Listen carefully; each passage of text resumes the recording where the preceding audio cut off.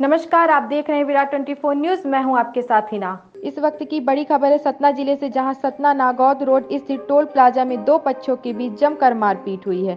पूरी घटना सीसीटीवी कैमरे में कैद हुई है। बताया जाता है कि टोल टैक्स देने को लेकर विवाद हुआ था। आप देखिए वीडियो, जिसे देखकर अनुमान लगा लेंगे कि किस तरह से अराजक तत्व वारदातों को अंजाम दे रहे हैं।